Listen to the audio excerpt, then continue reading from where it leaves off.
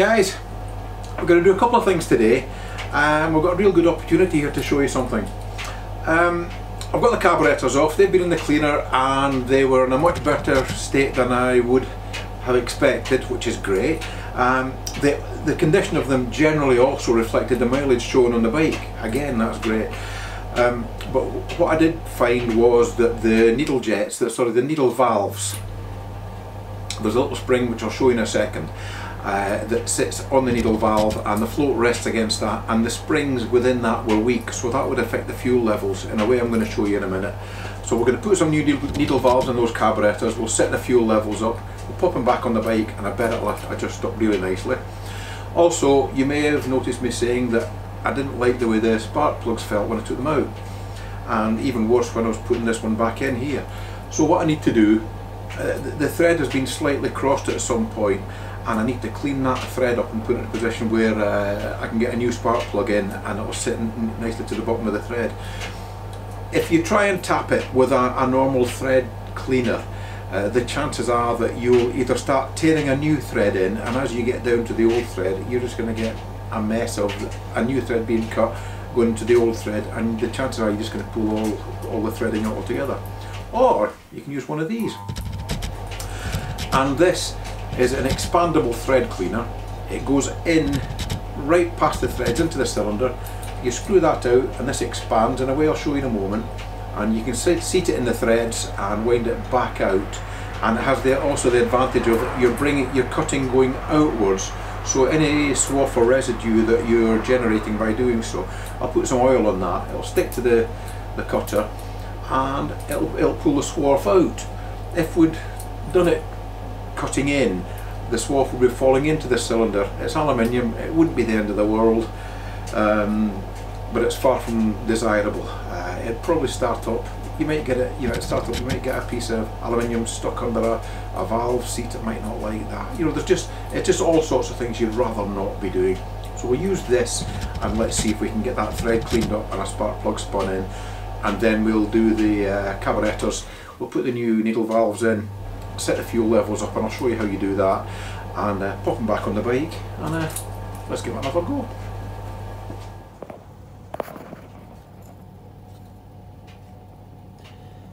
You can perhaps see the top couple of threads there are a bit shinier than their friends and that's because they're kind of new, they've newly been or relatively newly been cut into the head by uh, by the spark plug so we're going to have a look and see how we can resolve that. Right guys, this is the reversible um, thread cleaner. And as you can see that part there is expandable. And as I screw as I screw that down it draws that into the thread and expands it as you can see like that. Until you get to the till it's fully home like that and then that will be you know nicely locked into the thread and I can wind it back out. So I'll undo that. I can pass that through the thread into the cylinder bring it back up rotate, rotate that gently until that sits firmly in the undamaged part of the thread wind it out and it'll wind itself into the uh, along the undamaged part of the thread into the damaged part and clean that on the way out. And I'll put some oil on that so as the um, the residue and swarf sticks to the cleaner. Okay, let's give it a whirl. Okay, I've got my, my reversible thread cleaner here, so I'm going to put a little bit of oil on the thread, on the body of it, just so it'll catch any residue. And I'll pass now into the cylinder and I don't want to tighten it too much because I don't want to I want to make sure it will rotate. And you can see that's actually quite firmly locked into the thread already. I don't want to overdo it. And let's just see if I can wind that out with a socket.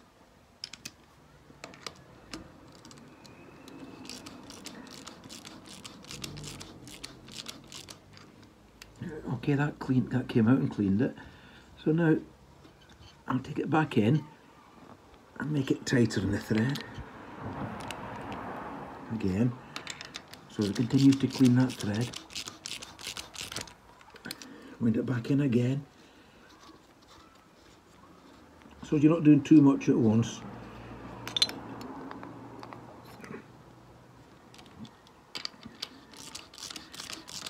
And I hope that should look like a thread when I've done.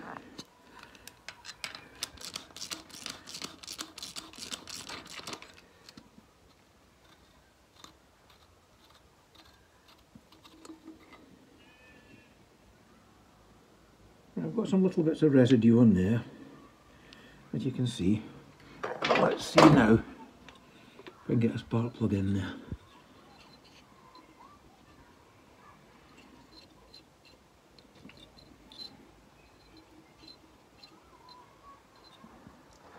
Going quite carefully. I don't overdo this at all.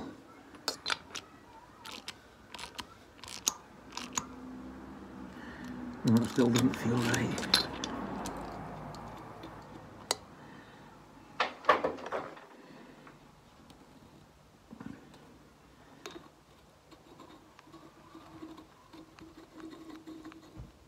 I'm going to put that in and tighten that up considerably so it really grips that thread. As I said, I don't want to overdo it, but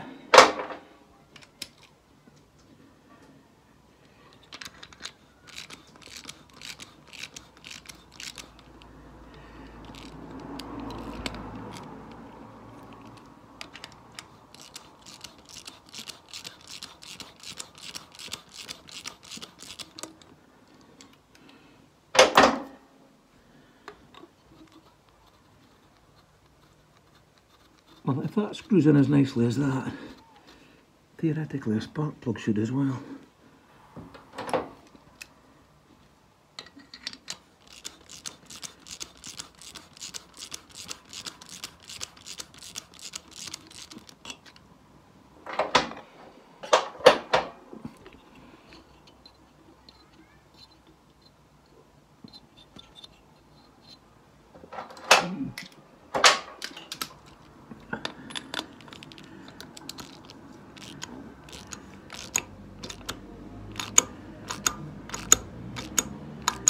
No, it's not cleaning up as well. Still not cleaning up. It's not going in as it should. Okay, I'm going to screw that back in because it's still not wanting to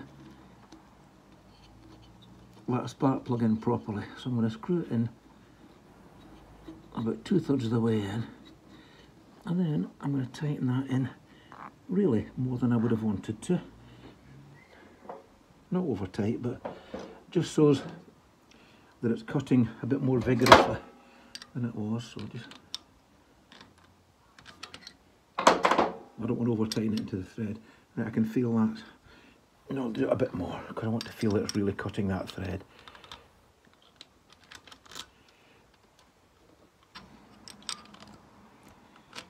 Right, let's wind that out now.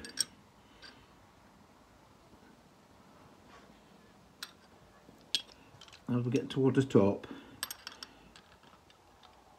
I am going to nip up a bit more that it really cuts the thread. I can feel actually cutting there now. A bit more. Oops. Yeah, that doesn't want to go anymore, so I'm not going to force it, but let's just see if it's cut, how it's cutting that thread. Yeah, I can actually feel it but it's still nice and solid. And you can see the residue stuck in the thread there. Alright, let's see how it looks.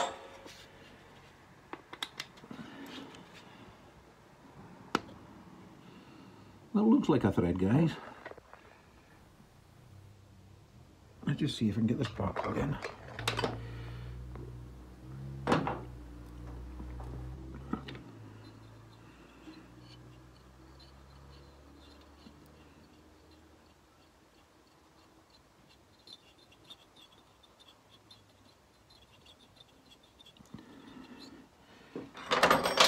socket on that.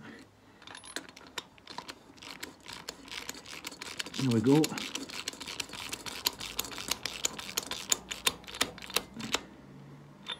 my spark plug is fitting nicely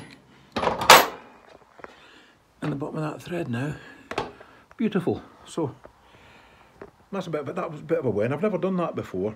Um, so every day is a school day, isn't it? So I've learned something today. That's a be a bit more aggressive than you were being before, but um, you can always get a bit more aggressive and a bit more. If you start getting off too aggressive, you can't be less aggressive once you're bollocks it, can you? So, but I've won a coconut there, so it means the cylinder head doesn't need to come off, which is fantastic news. And we can push ahead now. So let's have a look at these carburetors and we'll take it from there. Right guys, this is our carburetors. Now they've been in the cleaner. And you can see they look loads better. I sprayed them with some, um, you know, some light oil just to keep any corrosion off them and keep them lubricated. But they look loads cleaner until you go like that. In which case, they don't look so nice at all, do they? I've contributed a few more quid to the David Silver's retirement fund. And um, I've got a pair of these now. I'm going to pop these on the top when we're finished and they'll look loads better. I will pop these off, you can have a look at the, the diaphragms inside there, you know, they really are in good condition. Problem being that the needle valves are short, so I'm going to pop these off for you now, and we'll put some needle valves in. I'll just show you what I mean when I say uh, the needle valves are short.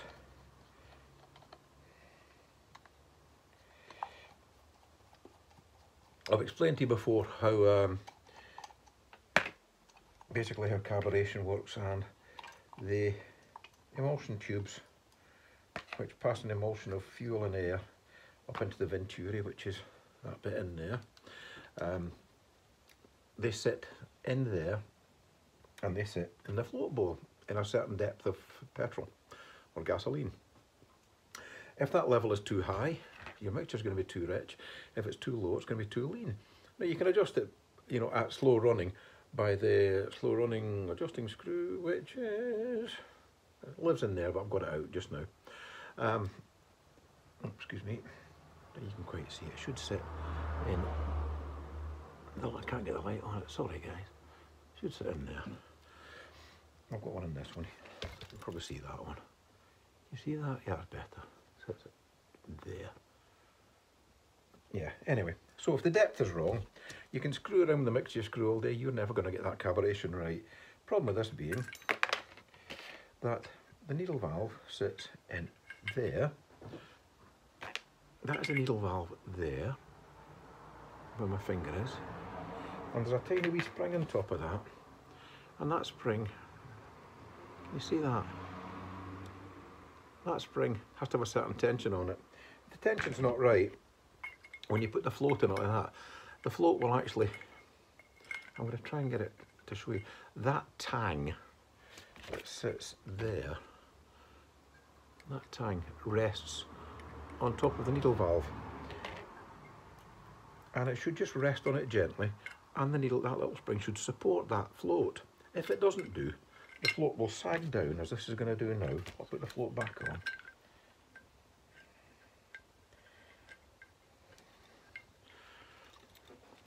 it should just sit with the float just touching it but when I rest that you can you see that it's just resting there now but it's just not quite got enough tension in that spring to support it so that would mean that as the as the float came up under the, under the fuel with the fuel under it it would depress that um, needle valve and change the fuel level so I need to put some new needle valves in so Let's do that right now.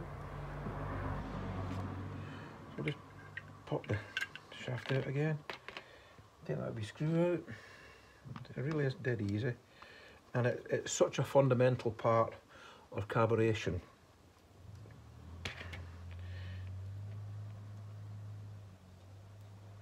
And it's so often ignored, you know, people think you can just clean the carb and stick them back on.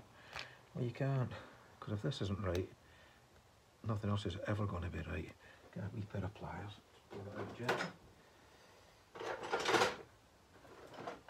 Not the correct pliers I'm looking for, but they'll suffice for now. Okay, so that is the needle valve there and it's that little part here that has sprung. So I'll get the new one out. As I say, a few quid more in Mr Silver's retirement fund. Okay. Look on out, yes it is. Okay, so that pops in there. I am going to pop a tiny bit of grease on that just to ease it in for its first its first time. It should pop in there. Sometimes they don't want to go in just straight away. Okay, that's actually sat in really nicely straight away. So I'm gonna put that on. I can I can feel there's a, there's more tension on that spring already. I'll put that back in there. Little screw on.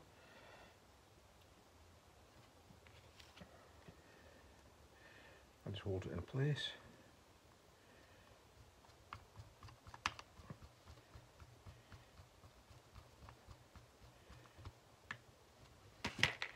Put the float in.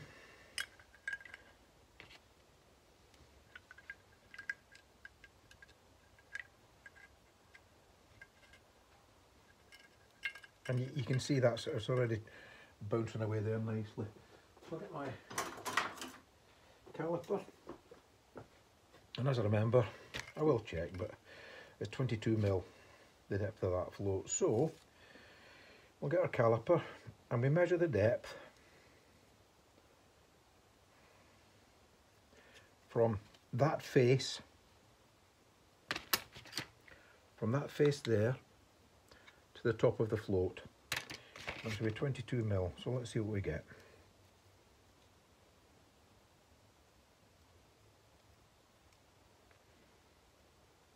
And with 25 there.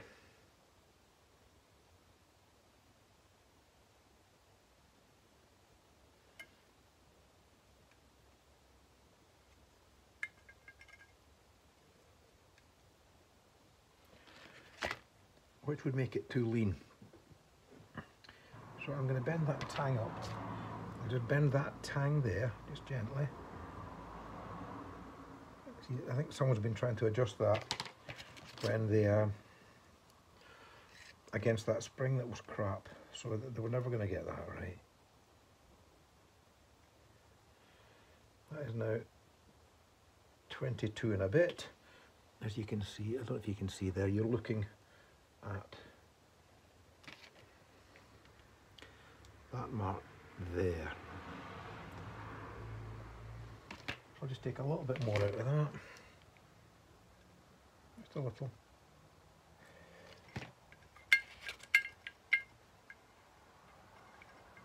Make sure that's just resting on the on the spring.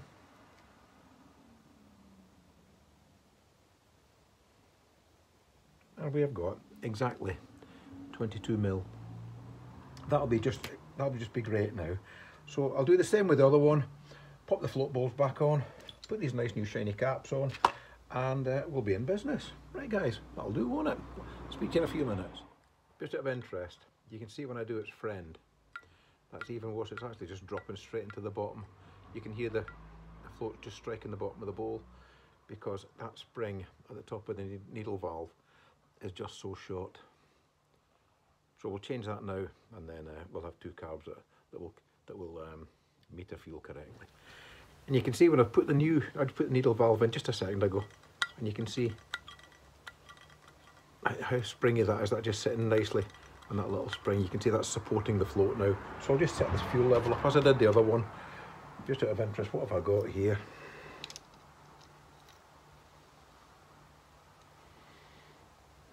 I've 25 again, so it's still, this was adjusted the same way as its friend, i.e. wrongly. It was adjusted to take into account the, um, spring on that. So just adjust that a little. What we got? There we are. A little adjustment there gives me 22. I'll just check it again.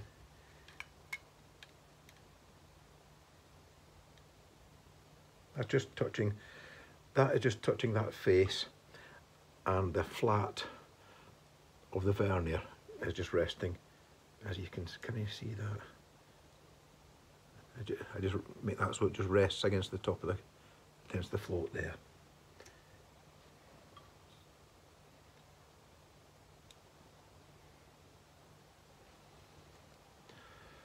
Can you see that? I've got exactly 22 mil there. So that's perfect. In the words of Allen Millyard, perfect. Okay, I'll put this back together now, put the carb tops on, and we'll be in business. Those are, these are the diaphragms that sit on the top of the, the carburetor slide, and to check those, pull them up to the light, and there should be no tears or other damage on these. There's a little tang there, which locates it on top of the carb body, and there's a little indentation in the body there, just where my finger is there, just to locate it. So you drop that in there, that slides down into the main jet. But these are really, really nice diaphragms. They aren't always. And just run them around like that with your finger. Oop, make sure it sits in there sweetly. Now we can put new spring on. Sorry, the old spring on and that nice new shiny carb top. Okay, we've got the carbs back on this little bike now, so let's have a look at them and just see how much nicer they look. There we are, they're much prettier, aren't they? Nice new tops on them. Carbs are nice and clean. I need to do something with that because that still looks a bit sad despite the fact it's been in the cleaner. I need to get something in there to clean all that kind of old rust off. But um, they're looking okay. Let's look at the other side. Just the same more uh, a bit more space to see there. So they look great. Um, so I'm going to get some fuel in it now. Let's just see if they'll fire up, and then as long as it fires up and runs something like right, we'll put the air cleaners back on and uh, let's let's tune it. Okay, we're ready to go. Switch the fuel on, fill the carbs up.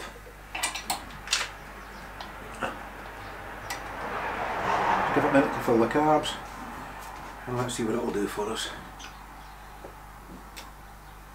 As it runs something like, we'll put the air cleaners on and things, but let's give it a go.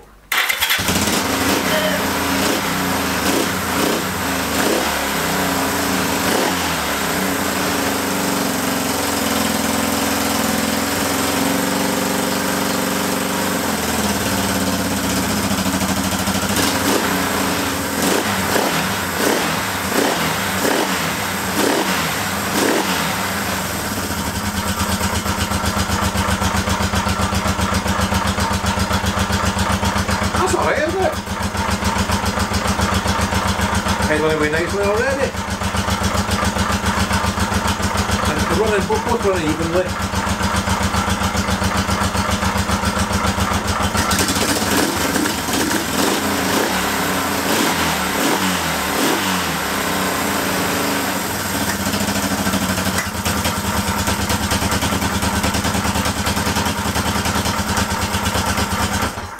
Okay, that's still a very cold little engine, it's just started up. So now I'm going to put the air cleaners on and then we'll set up the, um, the carbs for syncing and we can run it up and tune it. Two minutes.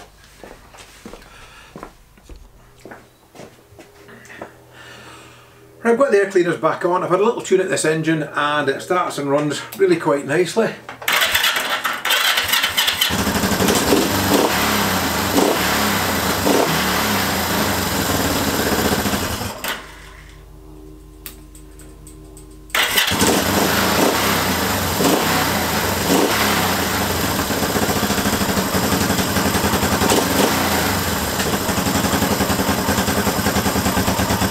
started a few. That really is a great result. Um, what I'm going to do now, I'm going to change these shocks because they're pretty horrible. I'm going to pop the back wheel out and clean up the hub. And I don't know if I can do anything with the back wheel or not, but um, I want to do something with the paint, but we'll go through that next time I see you. I've been doing this for a number of years just now and I keep getting more and more and more bikes and I've got to the stage where I've got a delivery coming in about four to six weeks I've just got too many bikes I can't possibly do them on my own so uh, I'll probably sell one or two projects um, come the time. So if you're interested in getting a project off me give it a shout. There's a list at the start of the vid that tells you kind of what I'm doing today and why I'm doing it and there's a list there of the bikes that are coming in. There's 19 in total so I can't possibly do 19 bikes. So um, have a look. If there's anything you're interested in give me a shout. So See you next time guys and thanks for watching.